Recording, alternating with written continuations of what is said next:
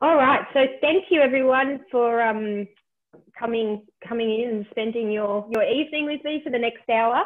Um, I am aware that the goal is for me to kind of speak for a maximum of, of 40 minutes and then allow um, 15 to 20 minutes at the end for questions. So I think it will work best if we um, if we hold off the questions till the end, but if you, you can post them in the chat box as we go along so you don't forget them. Um, and then yeah, I'm happy to, to scroll through them at the end and answer as many as I can. Um, so today we're going to talk about um, what are specific learning disorders or uh, learning disabilities they've historically been referred to as, what are reasonable adjustments um, in, in class-based learning and assessment tasks and in, um, in exams for students with SLD.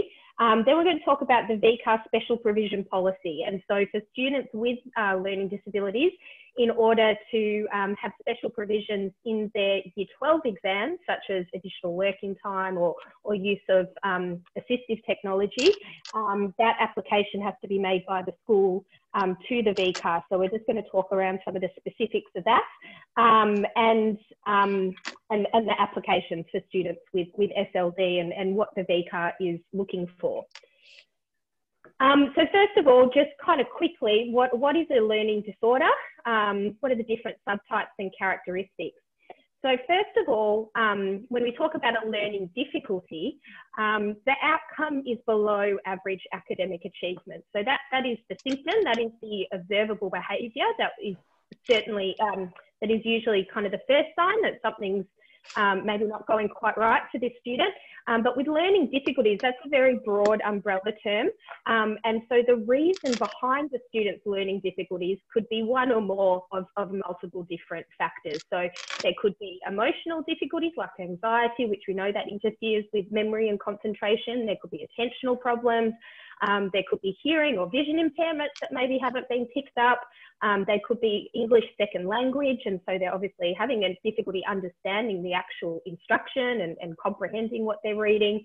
Um, there could be global developmental delay that um, means that they have quite low cognitive ability, which means that that learning is, is likely to be to be slow and um, and, and, take more time um, and support for them.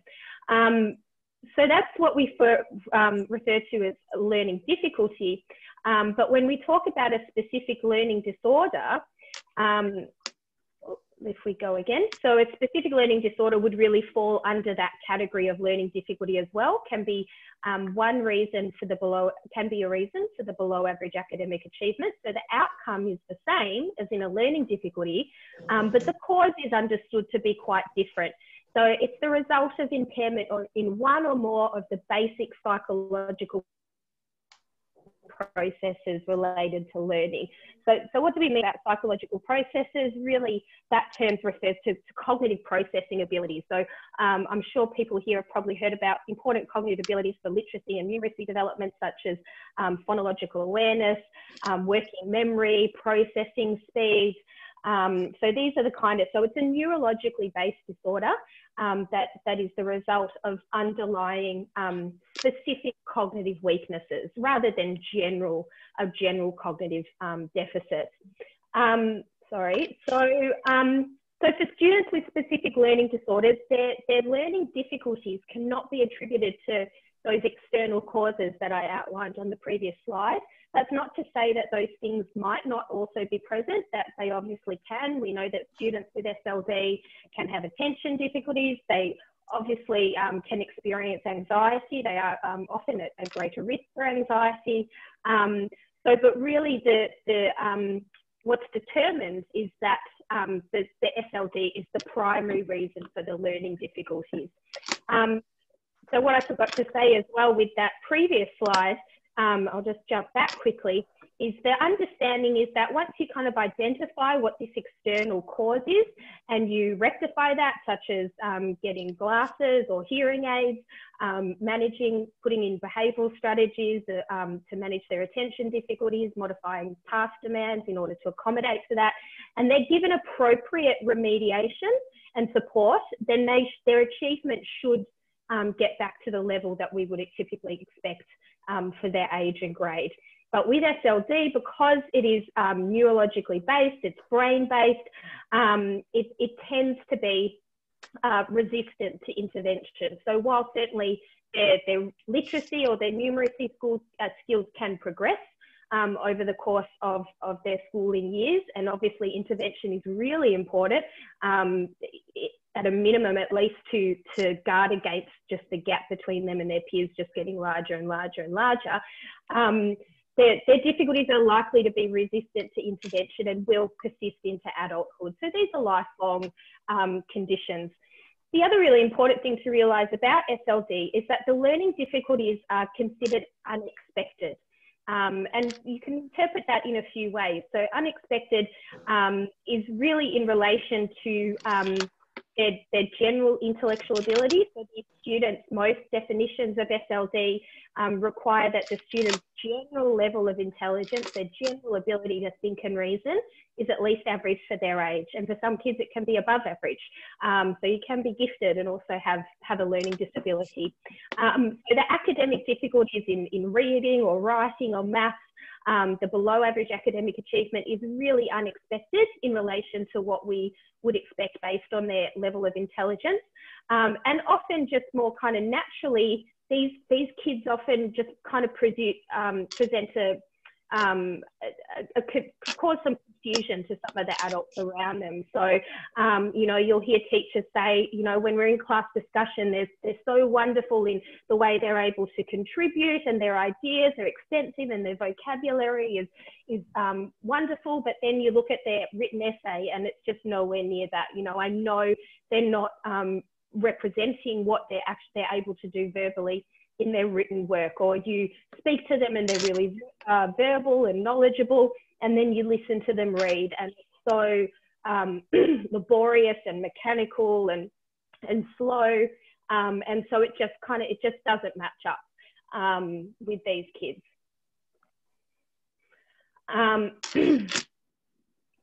So to kind of bring that all together, this is a really nice um, definition of SLD that actually um, was originally stated in the 1960s, but I think is, is um, for me, it's one of the kind of clearest um, definitions of SLD that I've come across. Sorry, I'm going to take a little sip quickly.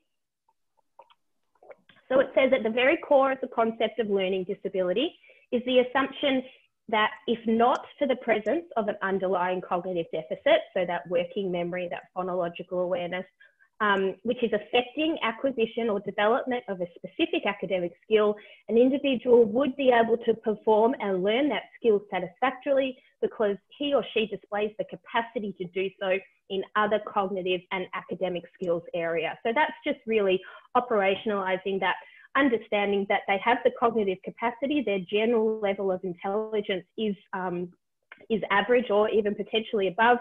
Um, but just because of those specific cognitive processing weaknesses, um, learning some basic academic skills such as word reading, accuracy, reading fluency, spelling um, is really, really difficult for them.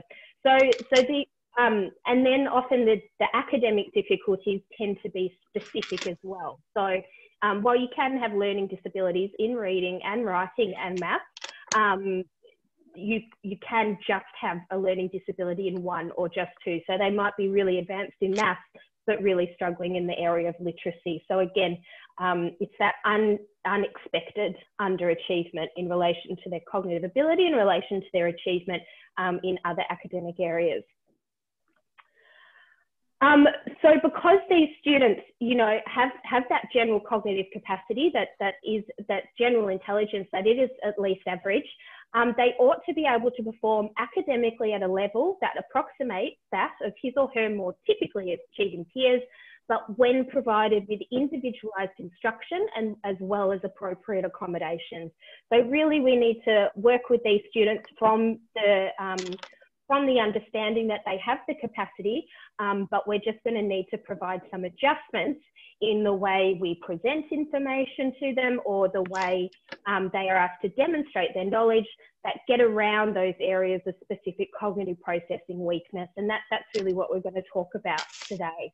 Um, so we really want to come, we don't want to lower our expectations for these students um, because we do know from research that um, expectations and beliefs held by significant people around a student um, can, can influence outcomes regardless of their accuracy. Um, so this is typically how we view the different types of learning disabilities. So this model is based off the DSM-5, the Diagnostic and Statistical Manual of Mental Disorders, which is um, really the handbook used by a range of professionals such as psychologists and psychiatrists to um, identify mental health conditions. Um, so they have the category specific learning disorder, which is the umbrella term, and then that's subdivided into the areas of reading, written expression, and maths.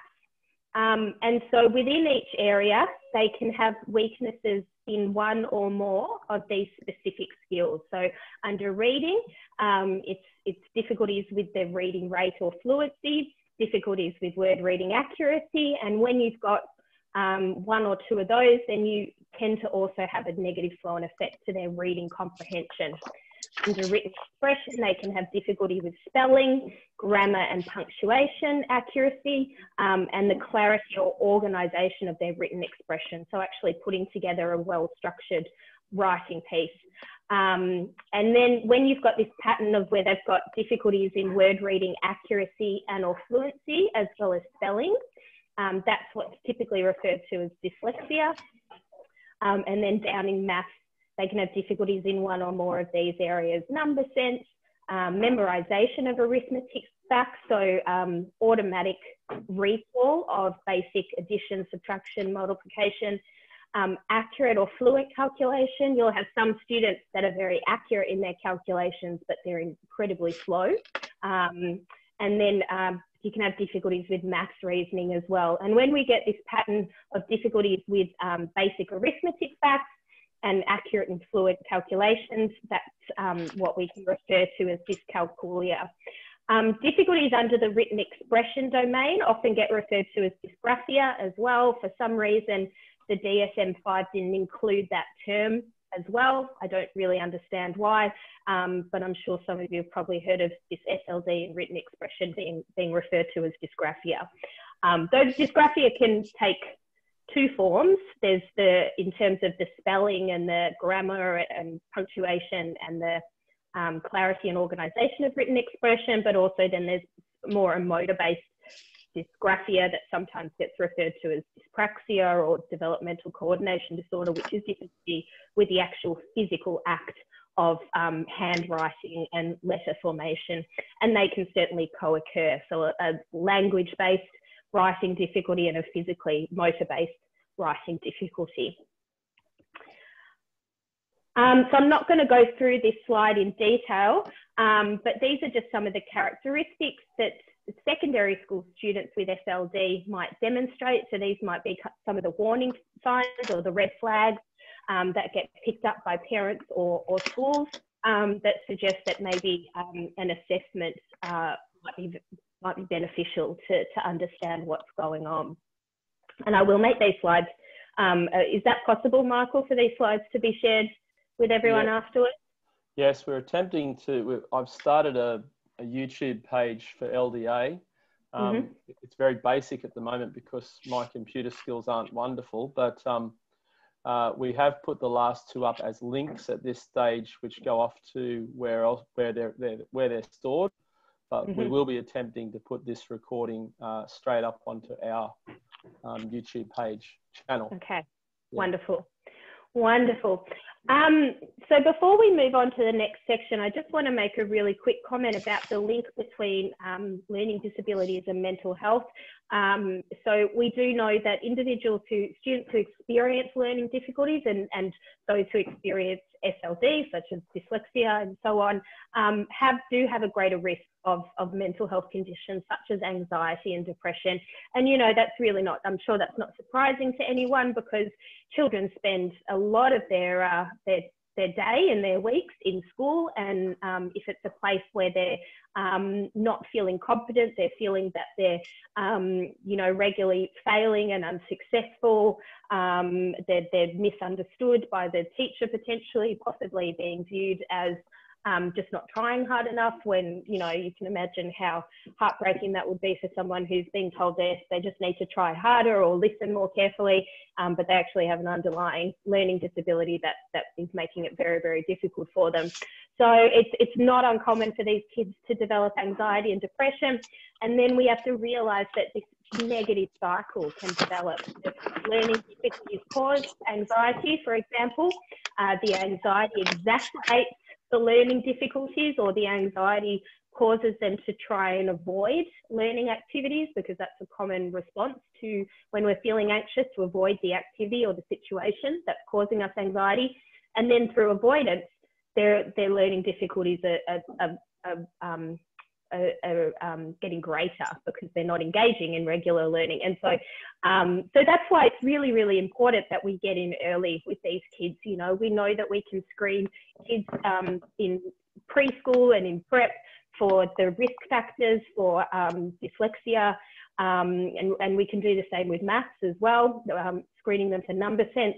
Um, and so I'm sure I'm, I'm, preaching to the converted here um, that, you know, the sooner we can identify these kids and give them the intervention that um, means you know, that because SLD is, is lifelong and is resistant to intervention, you know, it's, it's often um, the, the, goal, the expectation is not um, that they're never going to have these difficulties, but the goal is that their difficulties will not be as severe as they would have otherwise if we um, missed that, that um, time for early intervention. So we want to get in and give them the support um, so that helps them to feel confident and capable um, and and ho ho um, hopefully avoid um, this development of mental health difficulties that exacerbates the learning difficulties. Um, okay, so now that we have a bit of an understanding of SLD, um, what are some reasonable adjustments that can be provided for them in school? Um, I'm sure this, a lot of people here have seen this, this um, graphic um, just showing that how, you know, you can't have the same exam conditions or the same exam requirements um, for, for everyone, that certain animals are, are, going to be greatly disadvantaged if, if they're asked to climb a tree.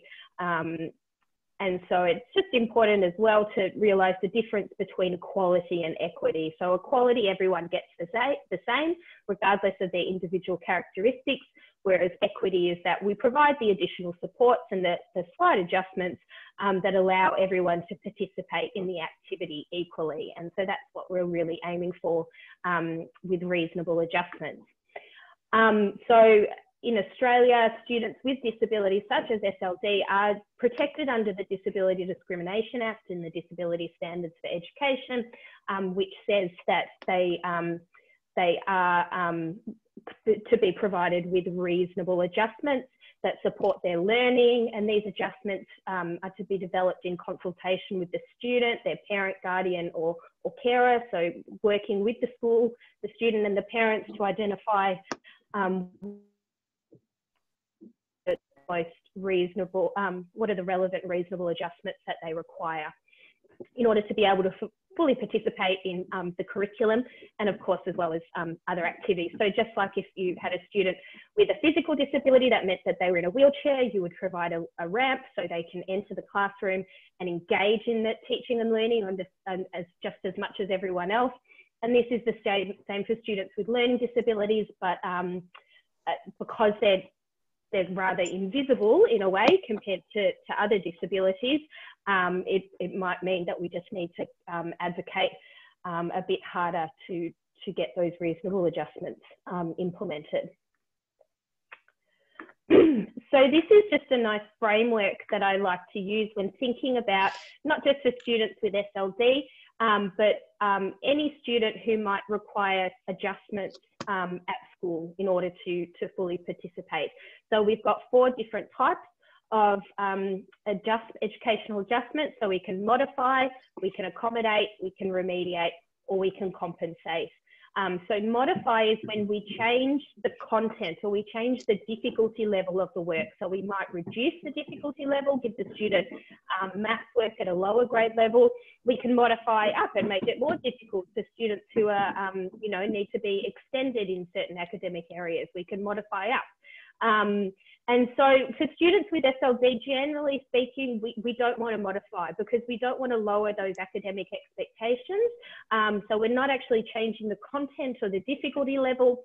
Um, we're just providing accommodations that change the way information is delivered or we change the way that they demonstrate their knowledge. So for example, um, we might change from them being required to read a book chapter to being able to listen to that book chapter um, in an audio book, so using um, text to speech technology. So they're still learning the same thing as everyone else, but for a student with dyslexia who has word reading um, accuracy and fluency difficulties, um, they're, they're going to really struggle to, to comprehend what they're reading, um, or it's going to take them an incredibly long time. So we just change the way that they receive that information. Um, we also accommodate, provide accommodations um, in assessment. So we might give them additional reading time. We might allow them to use um, that, that text to speech technology in exams or um, historically we've had, you know, um, someone in the school read out the questions to them and so on. Um, we might have a, allow them to use a laptop and, and we'll get into these accommodations a bit more soon. Um, the other thing that we can do is we can remediate, we can target the area, uh, and generally we're talking about academic areas here. Oh, what just happened there? Woo! Are we still here? Uh, you were, but we've just lost oh. your. Um...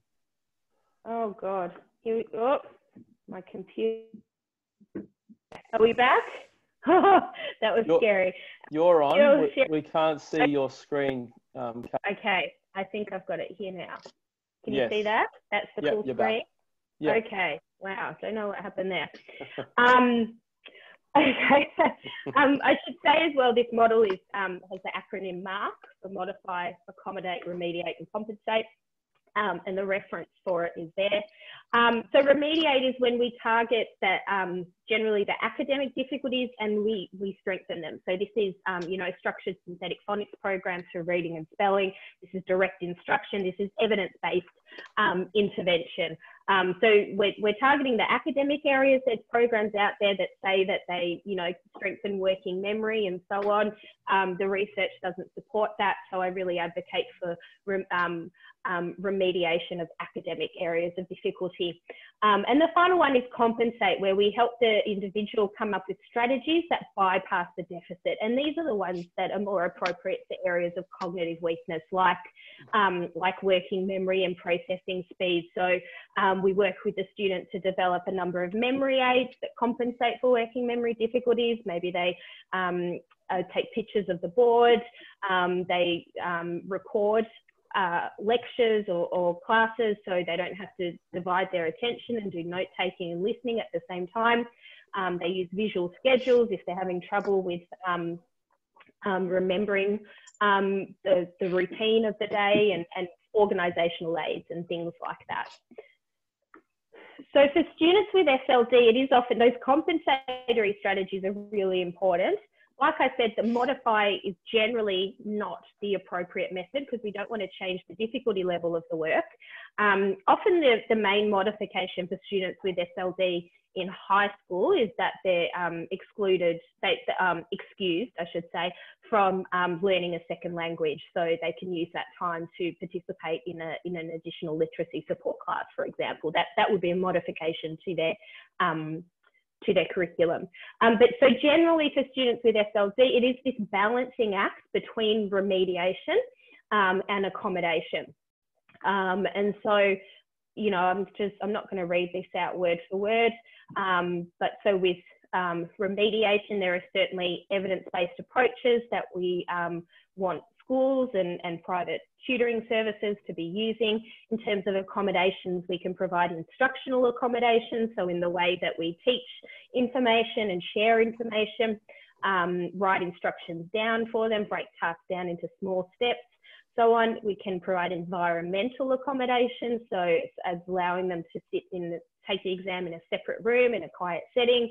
Um, and there are an assessment accommodations in terms of extended time using speech to text, text to speech, laptop, um, so on. So it is this balancing act, and um, and the weight we place on each, you know, really changes um, over the course of um, of a student's um, life. And like I said before, you know, the earlier we can get in with the remediation, the better. Um, and then generally, I say it's kind of around grade three when you have that, you know, that shift in the curriculum from learning to read to reading to learn, that you'd start to introduce those accommodations.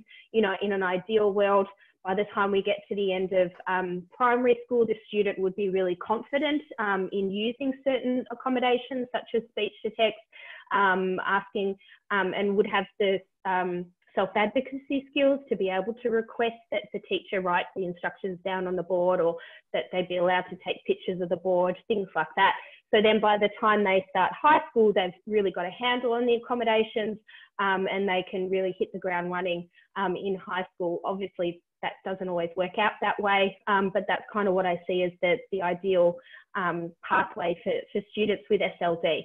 Um, but again, of course, you know, as well, it's not a one size fits all, and we need to take into account um, the individual and their particular circumstances um, as well.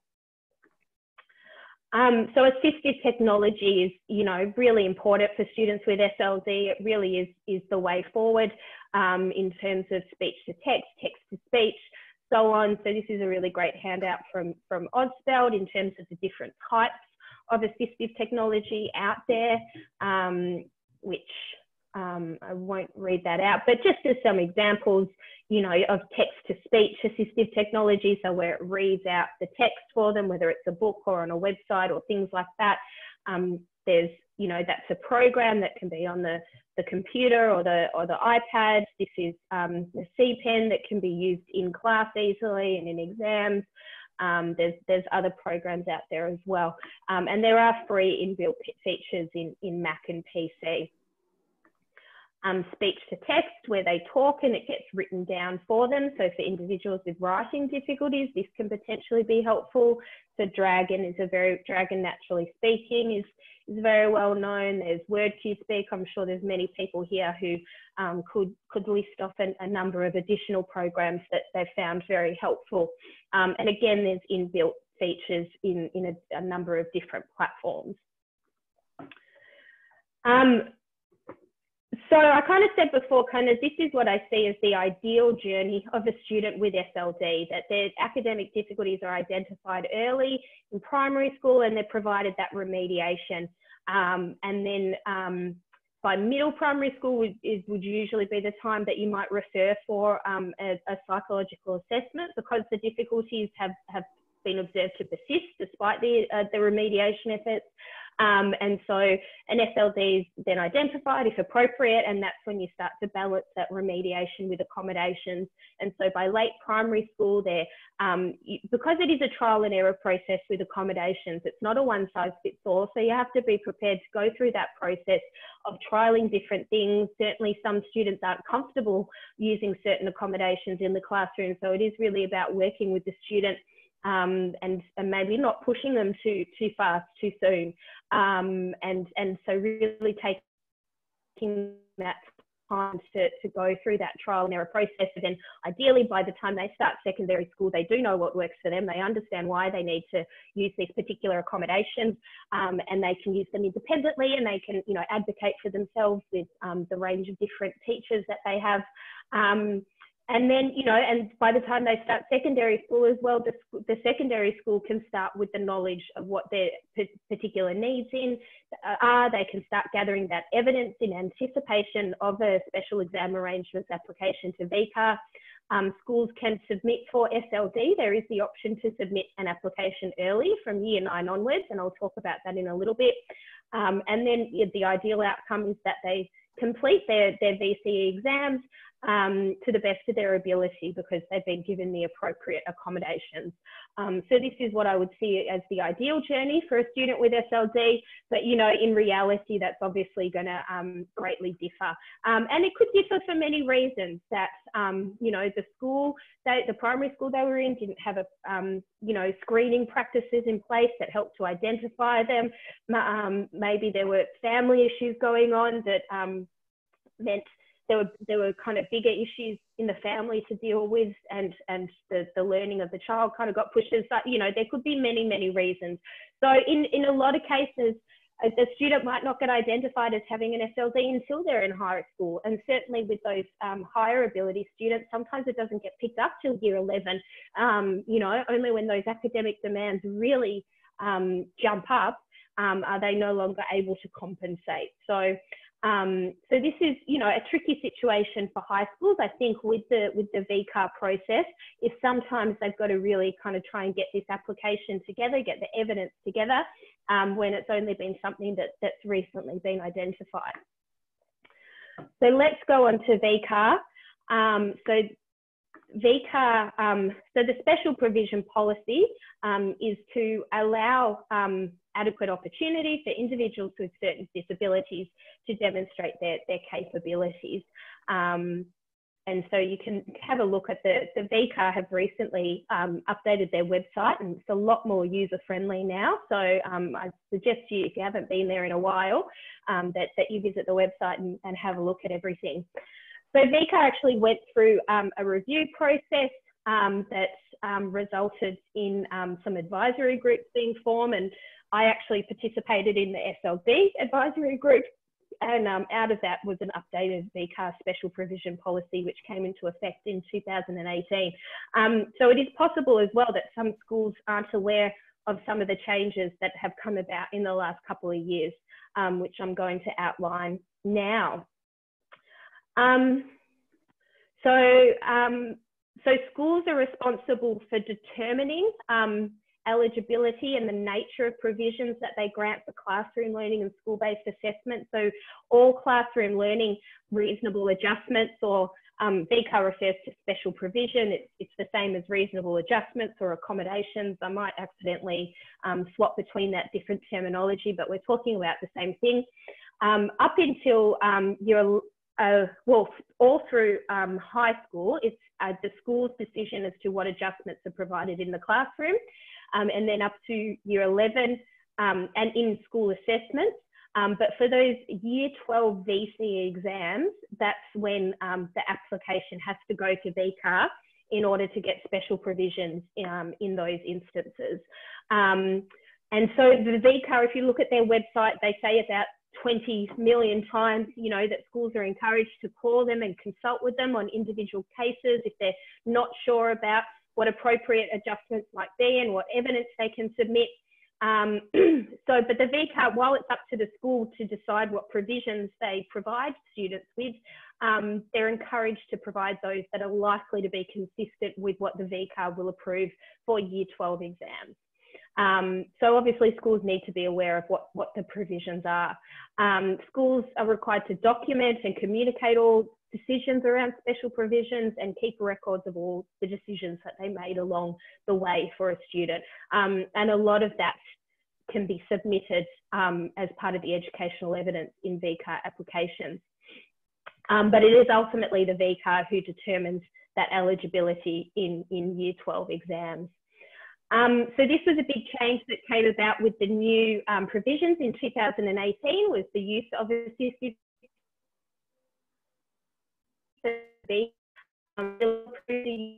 um, speech to text, um, sorry, text to speech, potentially speech to text. I think that that kind of function, the feedback I tend to get is that it doesn't work as well.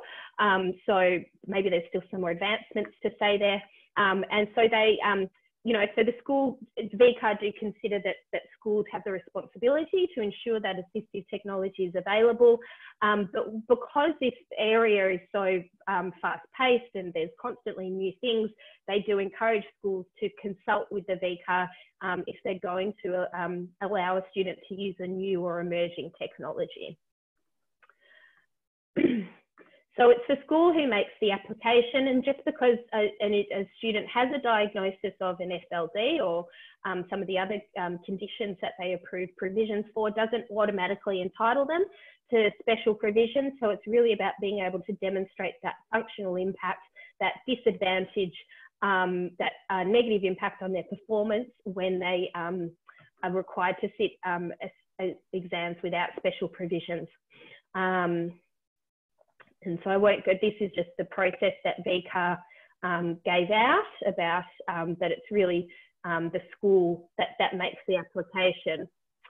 Um, so VCAA considers the application on the basis of three things. So independent professional and or educational and academic assessments, any school-based evidence and recommendations provided with the application. And I get asked a lot, what is the school-based evidence? So we'll talk about that.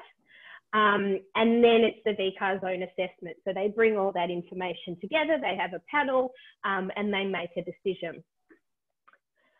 Um, so this was one of the big changes that came about with the policy update in 2018 that for long-term or permanent conditions, which SLD is considered, it's a lifelong condition, um, schools can submit a formal early application from year nine onwards.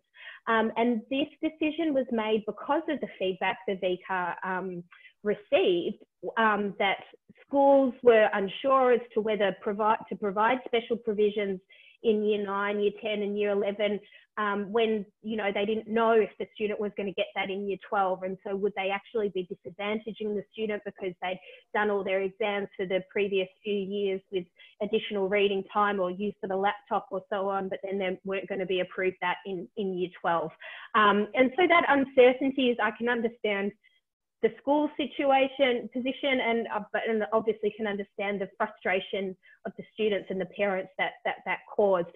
Um, so they're saying for these permanent conditions, submit your application from year nine, then it can be approved and then you can have certainty um, about what that um, those special provisions will be in year 10. And it's up to the school, once it's approved from early on, um, it would be up to the school to um, contact VCAA um, to say if, if the situation changed. Um, so, for example, if they suddenly didn't have dyslexia anymore and they didn't need additional reading time, you know, that's not going to happen um, because this is a lifelong condition. So, really, to be more likely that maybe their situation has worsened and they needed more accommodations um, before. So, um, so it's of it's important to realize that this is for long-term and permanent conditions. So things like anxiety, which can be transitory, um, you can't um, submit an ap early application for that, but, but things like language disorders, SLD, um, you can. So what, what's the, the applications look like from 2018 and beyond? Um, so there's a number of conditions that you can apply for special provisions under, um, and we're just going to focus on that specific learning disorder. Um, but really with, with mental health conditions like um, anxiety and ADHD and language disorders as well, the educational evidence, um, well for all of them really, the educational evidence would be the same. But we're going to talk about some of the specifics around SLD. So the VCAA has adopted this definition of SLD um, and it's up on their website, which um, identifies the you know specific areas that students might have um, difficulties in. And this, this definition was taken from the DSM. Um, so it's consistent with that. These are the possible provisions, they say now. Um, so for impairment in reading, which includes dyslexia, schools could request extra working time, use of a reader, or use of that assistive technology. So this is definitely something that is new 2018. For impairment in written expression, extra working time, use of a computer, or possibly a, a person to scribe for them, um, or use of assistive technology. Um, and for maths, it could be extra working time use of a computer. I'm not sure if that would actually be helpful. They've put use of assistive technology there as well. I'm not really um, sure what that assistive technology would be. Um, in maths exams where a calculator is not allowed, I really don't see a time when VCAA would allow a student to use a calculator because of an SLD in maths. So I think that's just something that needs to be taken into consideration when selecting subjects. Um, but really, it's the extra working time. When you talk to students with dyscalculia and you say, "What what do you want? What do you need?" It's just it's just that additional time. Um, but I think they just put that under there um, to to just be consistent and to keep it open for the future because this area of assistive technology just keeps um, advancing. I think it's really important to realise that a student doesn't actually have to formally have a diagnosis to apply for um, provisions under these different areas. And often you have students with dyslexia who apply for use of a computer um, and, and that's fine. So it's really more about what are the provisions that they need, the adjustments, and then you apply under that category and you can apply under, under multiple ones. Um, that, and sorry, that was a big change as well. That prior to 2018, um, an SLD in maths wasn't specifically mentioned um, in the VCAA special provisions policy, um, and, and now it is. So what are the evidence requirements for these applications? I'm really conscious of the time and I, it says I've got five slides to go, so I'm trying to get through. Do we have a lot of questions, Michael, or? No, not too many, Kate. Okay, great. Um, so for all SLD subtypes, so whether it's that reading, that writing, or that maths, VCAA does require that a cognitive assessment or an IQ test um, is completed. And that test has to be administered from grade six onwards. Um, so prior to 2018, the requirement was from year seven onwards. Um, so this was a change that came in um, based on the feedback um, that a lot of families, you know, want to get an assessment um, in grade six um, in order to support that transition to high school. For students with SLD, it can be really helpful to have a comprehensive psychological assessment in grade six um, to just reconfirm kind of the, the extent of the certain difficulties that they have and to provide recommendations for school in terms of reasonable adjustments. Um, so some families are having to make that decision between, well, do I get the assessment now, knowing that it could help um, make that transition to high school smoother, or do I wait till year seven so that assessment can be used for the VCAA application? So now, um, from grade six onwards, um, that, that cognitive test can be administered. Um, and that is really just that cognitive assessment is really just about um, determining that this is a student that would benefit from adjustments, that they have the cognitive capacity um, to understand the, the content at their year level, um, and so providing reasonable adjustments, um, providing special provisions um, would likely be beneficial. So if they have an impairment in reading and you're requesting extra working time, use of a reader or use of that text to speech technology, then the school has to administer the PAT-R, which is a, a reading comprehension test. But now the VCAA also says that they will look at the results of additional reading measures, so such as the YARC, which is a, a, a common one that schools use um, and, and psychologists use and educational specialists use, or they say, or other reading tests administered if available. Um, you know, and I think this is really a recognition that the PAT-R is just a test of reading comprehension, and it doesn't doesn't specifically assess word reading accuracy or reading fluency. It's a multiple choice test as well, which is actually different to to often um, the reading requirements of exams. Um, so you can definitely have those kids with dyslexia who come out average on the PAT-R, but when you look at results of other tests, which kind of more do a more fine-grained analysis of those reading skills that, that work together to support comprehension, they can come out, you know, real, so the YARC separates it into kind of single word reading accuracy, there's a reading rate, um, or reading fluency and, and a reading comprehension. Um, and you do have those kids who, who still compensate and comprehend, so they come out average on comprehension, their fluency might at the you know the second percentile. Um, so I think it's really up when when you've got that discrepancy between the PAT-R and these other tests, and other reading tests could be the WIAT's, which is what a lot of um, psychologists use. Um, there's Woodcock-Johnson tests as well. Um, you know, I think it's just it's um, important to really make that clear in the application um, that yes, you know, they come out um, average in their reading in their reading on the PAT-R, but you know look at the significant difficulties um, that that are, um, are, demonstrated by the performance on this other test. And then the school has the opportunity to say, and this is really consistent with what we observe during um, school-based assessments.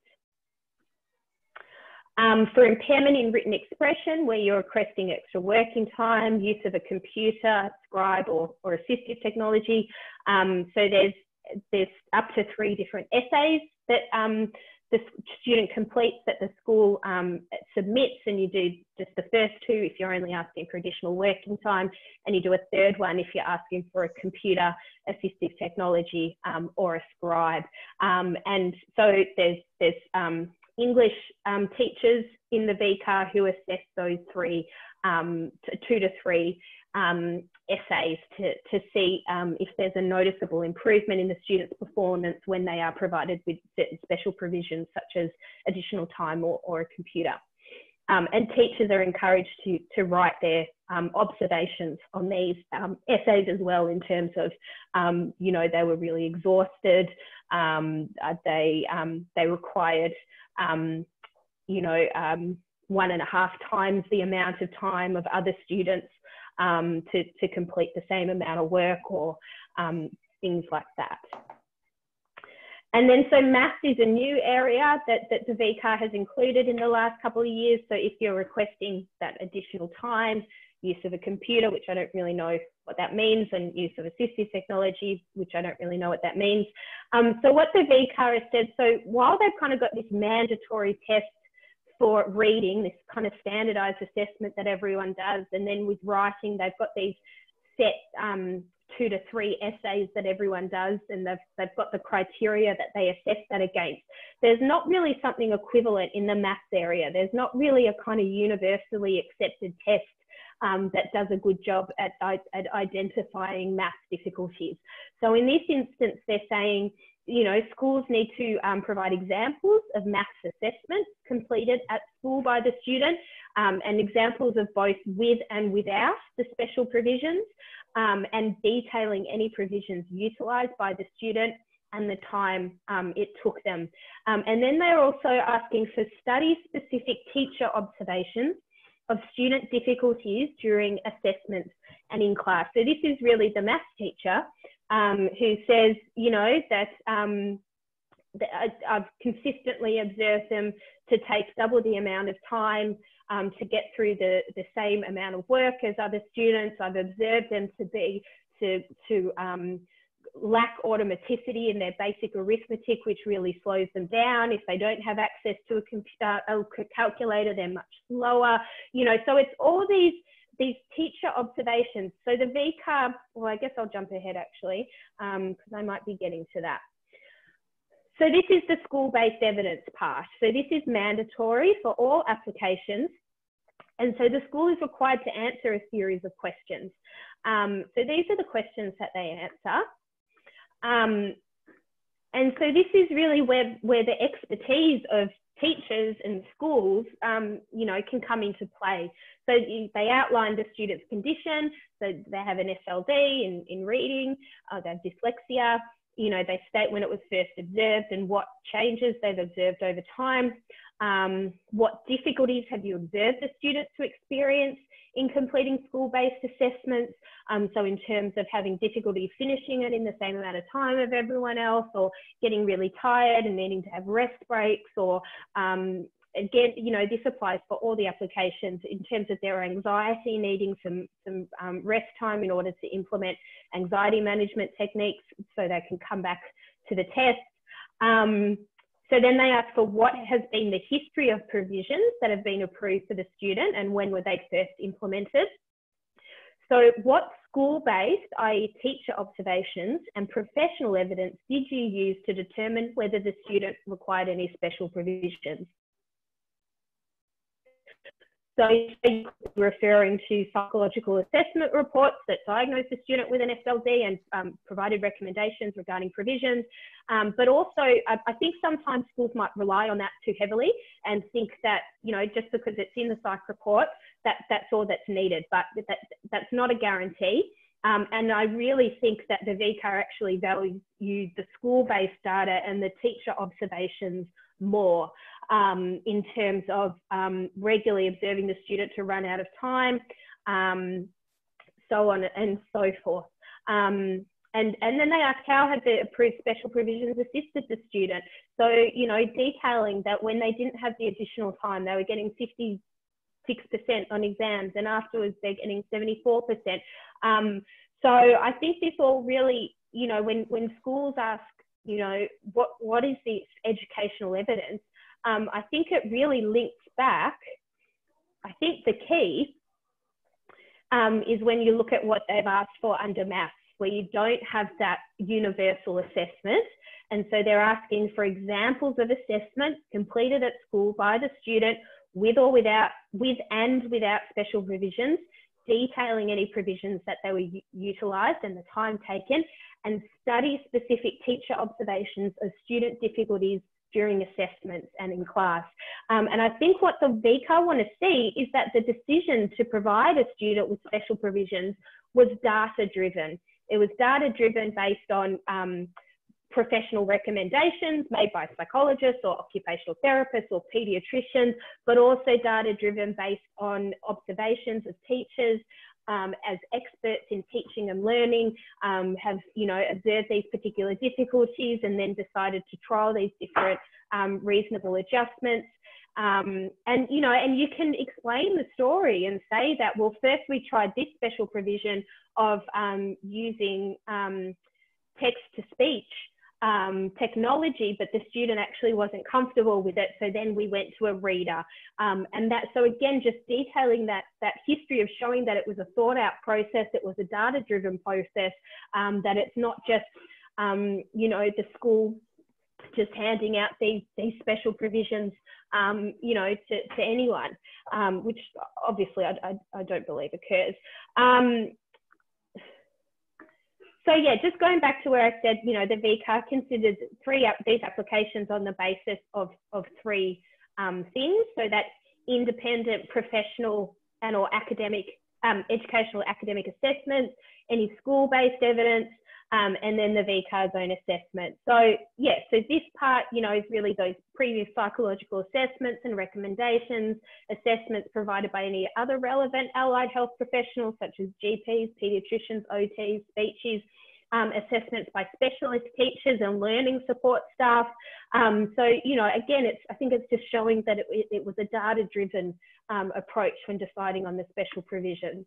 Um, with the school-based evidence, so again, this is what I've just taken from that maths um, category. So examples of assessments completed at school with and without provisions, detailing the provisions and the time taken. I've heard of a school that um, when they're kind of collecting the evidence for VCAA, they actually allow students to take as much time as they need it. They need. So generally schools will approve that additional 10 minutes per one hour exam, which is what VCAA generally um, approves.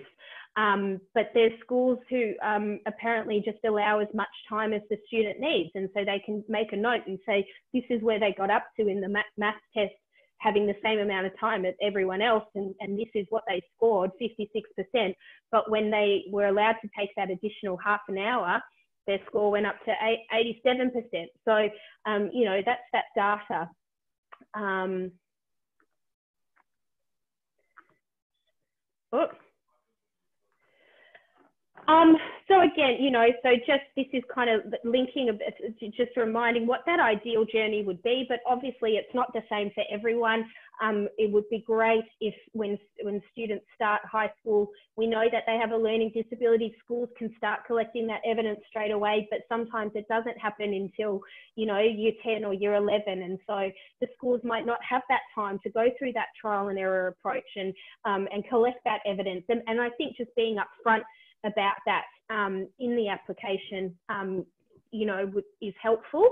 Um, I think the other thing to say is, well, in terms of special provisions, particularly assistive technology, um, you know, the VCAA wants to know that the provisions are something that the student has used and the student is comfortable with. So they don't want to approve um, text to speech technology for their year 12 exams when the students never used it before. They don't want it to be the first time they've used that piece of technology when they walk into their exam. So I think that's another important part of that school-based evidence to be able to say they've been using this special provision for the last two years um, successfully.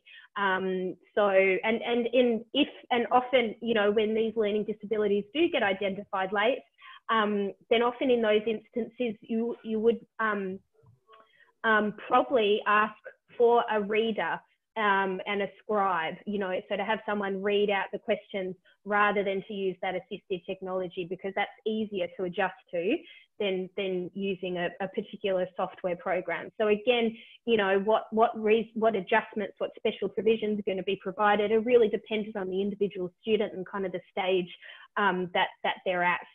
Um, I was going to say something else, but I might kind of stop it there. And um, I've just got one more slide um, just to say, um, you know, those with an SLD, they just learn differently. It's not that they're unable to learn. And so our goal um, should be to provide them with the tools that they need in order to meet the academic standards with rigour equal to that of their peers. So um, minimum performance should not be um, the standard by which we measure the adolescent or adult um, population with SLD. And how did I get through? I hope I didn't. Oh, right on. You're right, right on. You're right on time. well done, Kate. I'll just give you a break there for a second. I don't know one whether we'll, this will cut out in the next minute because I'm not sure how our license goes after an hour. We mm. haven't hmm. been over an hour. So if, if we if we do get um, cut out, I'd just like to thank uh, Kate uh, in advance uh, for wonderful session. There's such a wealth of information there. Um, it's ticked over to seven o'clock on my phone, and we, we're not cut off. So mm-hmm. Uh, that that's a good sign. We might be able to answer some questions, but I would like to really thank you, Kate. There's such a, a wealth of information. Um, I might answer a couple of questions just to give you a little bit more break. Uh, mm-hmm. Uh, Felicity's asked with the national curriculum, how different or the same is it in other states? I've worked across a few states, um, and the problem, Felicity, is that funding for disabilities is very much a state based uh, issue for the most part, other than the NCCD. So, um, different states come up with different criteria often um, for state funding. Obviously, federal disability funding is now through the nationally consistent collection of data. So there can be quite vast differences, but I think the principles that Kate outlined there are, are relevant across all states and, and for all students, particularly uh, with the federal um, NCCD. I think they're very, very pertinent and um, hmm. useful mm. for that. Um, do you want to answer a couple more? Victoria's asked how frequently do do they need to have IQ tests every couple of years? No, definitely not. No, definitely not. And um, so the the rules around um, intelligence testing is generally there is a rule of thumb that you don't do it under two, you don't redo it under two years, and that um, come about because of the Victorian Department of Education when you are using those tests for um, funding under the program for students with disabilities. They, they don't um, allow you to reassess within two years. Um, but in terms of the case of SLD, where it's not it's not funded under the program for students with disabilities, um, I, I, think it really depends on the stage that they're at. So um, I might see a grade two or a grade three student um, and and do a comprehensive assessment and diagnose them with a learning disability. And then I'll, I'll suggest to the family that, you know, you can come back in grade six and we'll redo the whole assessment again and you'll have that report in order to support that transition to high school. It can be used in that VCAA process and really you shouldn't need to do another one again. So whether they do it in grade six or they do it in year seven or they do it in year eight, um, you know, ideally it would just be um, in, the majority of cases, I would say one in primary school and then one from grade six up. Um, and then hopefully for SLD, it's, um, it, it shouldn't be needed again. Uh, Jan, Jan has said read write is a speech to text which has an Australian speaker, so easier to hear when reading. So thanks for that, Jan. Great. Yep. Um, Elaine has said, I've heard that uh, if we do not provide extra time on assessments such as NAPLAN, that the student cannot have extra time given in high school. Is that correct? I don't believe that's correct. And like I've said, for every student, the journey is different, but the more evidence that that can be added and provided, and I really think that that, um, you know, if, if they're a student in high school who has been identified as having significant reading difficulties, then yes, they should be getting that additional reading time um, or use of a reader um, in NAPLAN, and they should be getting it in school-based assessment and things like that. But um, I, you know, VCAA do recognise from my conversations with VCAA in the past, they do recognise that that journey it can be very different for, for individual students, and they don't want to systematically disadvantage students who don't have that long history of accommodations and reasonable adjustments. And so I think it's just something that, that the, the argument just kind of needs to be maybe a bit stronger in those applications. Um, and I've certainly written um, for, for clients um, of mine where I've, I've kind of written supporting statements um, to, to that effect.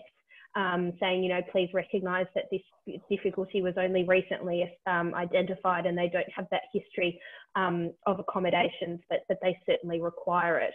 Um, yeah. Uh, okay, Adina has asked uh, how, how current do tests like YARC have to be? And before you answer, I was just made aware of uh, a really great resource called Motif. I'm not sure if mm. you've heard of that, Kate, but it's mm-hmm. a Macquarie University, um, a whole lot of tests and assessments developed by Anne Castles and Genevieve McArthur. So that the link to that is on the LDA website. Mm-hmm. Um, mm-hmm. And that, that's a great assessment uh, resource for teachers and, and other professionals, um, which I was only just made aware of. So I thought I'd just mm. share that. Uh, yeah, everybody. it tends to be for more primary age students. There's not, I don't think many of the, the tools on there um, have have norms for, for high school age students, but certainly, yeah, it's some free free kind of screening yeah. um, assessments there, which is really great. Um, in terms of how recent does the YARC have to be, I'm I'm not sure, and this is probably something that I would email VCAA really quickly just to confirm.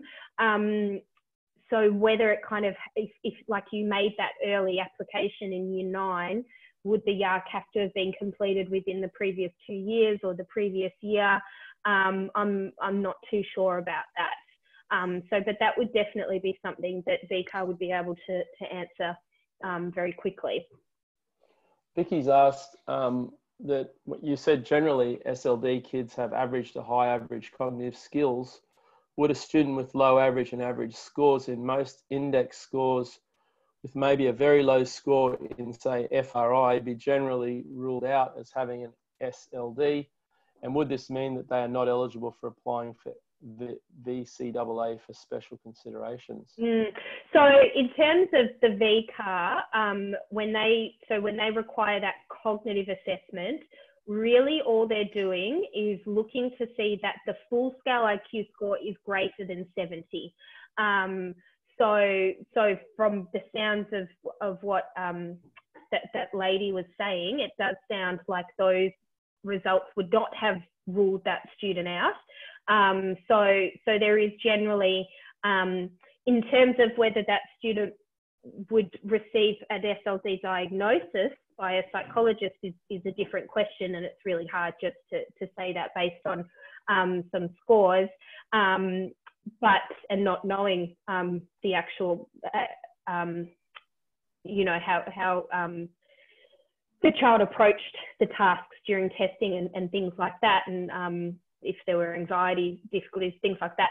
Um, but in terms of VCAA, that yeah, those it doesn't sound like those scores would mean that they couldn't apply under that. Yeah. Sue's asked, uh, PAT Maths, question mark for maths. Why not PAT Maths? Is PAT reading? Yeah, I know because it's it's because math difficulties can be very specific. So um, you can your calculation skills and your applied problem solving skills can actually be fine, but it's just the speed, it's the math fluency, or it can be the reverse. Um, so there's not really that I know of a test that taps into all those different things um, at once. So yeah, I'm not familiar with the with what's the actual content of the of the PAT Maths, to be honest, but I would think it would be maybe untimed, and so um, maybe might might systematically um, miss some some types of students with maths disabilities. Victoria's asked her that um, her son has dyslexia and dysgraphia, but is not in year three, not supported by learning support. Um, spoken to the school and how it affects him in class, and he suffers anxiety. How do we seek NAPLAN exam uh, arrangements if the school isn't acknowledging any of this? Mm. Um, before you answer, I wonder whether there'll be NAPLAN next year. That's a political um, statement from me, and it's just my personal opinion. I, I don't know that it will um, happen next year after the pause of this year, um, but um, answer for that one. Okay. Yeah, look, that's really difficult. Um, look, just um, I, ideally, what we want to work towards is a positive collaborative relationship with schools. Um, um, so I, I, would just keep advocating and, and keep requesting and and um, upskill yourself on the, the Disability Discrimination Act and the um, the education disability education standards and know your rights um, and um, and just seek support um, from from organisations like this, from professionals such as psychologists potentially to provide some guidance, um, potentially um, you know attend a student support group meeting at the school. Um, so that's that's probably yeah what I would I would be recommending, and just keep keep um, you know keep up the fight. Unfortunately, it's not a straight and an easy easy path. Um, often that that journey has um, has a lot of lot of hills. So Adina's asked, data driven from how far back in the educational history? Yeah, well, it could be anything. Look, for students who are, um, like I said, the VCAA requires that, that schools document these decisions. Um, and so I know parents certainly kind of take ownership of it and they'll keep um, emails um, from the school saying they're going to be given additional time in this and additional time in that. Um, if you're having student support group meetings, um, you know, once a term or possibly once a year to talk about the adjustments, you know, minutes of that meeting should be taken by someone at the school. So that would be um, um, the evidence, documented evidence. Really you probably just as soon as you realize that a student in high school has a learning disability you might as well just be gathering some evidence every year. Um, but it, it, might not be until kind of year nine where you get the kind of assessment and exam arrangements that are more similar to, to year 12 that you really can start to get that um, really good evidence that that shows you know that they need that assistive technology um, potentially. Elaine asks, what if adjustments are requested by parent from year seven because we had an ADA assessment of dyslexia and dysgraphia from grade five. How can the school give evidence of things they noted and tried? I, I, um, I don't think the VCAA would accept an ADA assessment. Um, I'm, I'm, not sure there is actually a cognitive test in there. So um, on the VCAA website, it very specifically um, um, lists the tests that that um, VCAA will um, um, that have to be used. So it has to be a WISC, a WIAT, or um, a Woodcock Johnson um, was recently added in, in 2018. Um, and so those tests have to be administered by psychologists. I'm not sure if ADA, if those assessments are actually administered by psychologists. So that might be an instance where you might seek out an educational psychologist for um, an, an updated assessment. Uh, or, the, or, or, use the school psychologist if, if that option is available as well. Amanda's asked, is it possible that an ed psych might recommend accommodations without an actual SLD diagnosis? Would this still enable application to VCAA?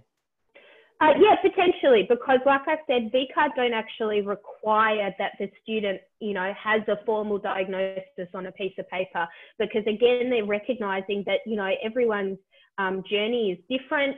Um, every, um, you know, uh, so they're not going to systematically disadvantage um, students because they went to psychologist X um, who doesn't like to use that label versus, you know, psychologist Y, for example, or, um, but it's about showing the difficulties. So that's why I think that evidence, that school-based information can really, um, I, I, think there has been a misperception that, that the psychological report part of that process is the most important part. And I really think it's not. I really think it's the educational evidence um, that really um, has has is kind of provides that tipping point um, for for those um, applications that that get approved and don't get approved. Um, so just because you have a psychological report um, that does provide a diagnosis of SLD and recommends these certain recommendations, that in and of itself um, is not going to um, lead to a successful application. Um, but if the school can um, can show their evidence as well, um, then then that's what's going to be more likely to, to lead to a successful application. Thanks, Kate. And um, Andrea has just uh, posted there in New South Wales, the YARC cannot be conducted or submitted prior to the last term of year 11, as in term one of year 12. So thanks for that information. Yeah, that's Andrea. really important. Of, of, yeah, sorry, I, I, probably didn't even think that there'd be LDA, there'd be people outside of Victoria. Oh, yeah. um, so obviously, I'm just talking about the Victoria situation, and every state is a bit different. So it's, it's obviously really important to, to understand what the, the rules um, and the policy are in your state. All right. Well, Thank you so much, Kate. That there's such a wealth of information there um, that, that is so going to be so useful, I think, for so many of us. So I'd really like to thank you for putting that together and giving your time this evening. It's um, first you. rate. So so thank you so much. Uh, before you before you all um, leave, um, we we enjoyed Kate so much tonight. We've got another Kate next week. Um, so Kate De Bruin will be presenting uh, next week. Uh, Kate is the Graduate Research Coordinator and Lecturer for Inclusive Education at Monash University. Um, and she'll be talking about universal design principles to support learning, participation, and progress for every student next week. So um, we'll have another Kate next week. But uh, again, uh, Kate Jacobs, thank you so much. Uh, that was wonderful. Uh, this will go up on our YouTube channel um, hopefully in the next few days, hopefully smoothly. It's, it's been a little bit of a challenge for me, but um, thanks so much and really appreciate it. And thanks to everybody for, for joining in tonight and hopefully we'll see you next week. Thank you. Thank you. Thanks, Michael. Thanks, everyone. Thanks, Kate. No, not a problem. Wonderful. Did oh, good. So I'll, I'll um, email you through those slides as well. Yeah. Now. Awesome. And um, and that's yeah. everything. Yeah, I'm just yeah. having a look yeah. through through some of the comments. Um, and I think we maxed out at about 92 people. Okay, great. Is, I mean, Lynn Stone said to me, um, "Shall we stop you know, she, recording?" Yeah, let's do that. Yep. Stop recording. Yeah.